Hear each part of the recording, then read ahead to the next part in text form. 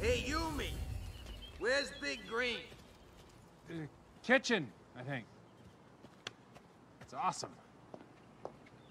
Rhodey, careful on reentry. There's an idiot in the landing zone.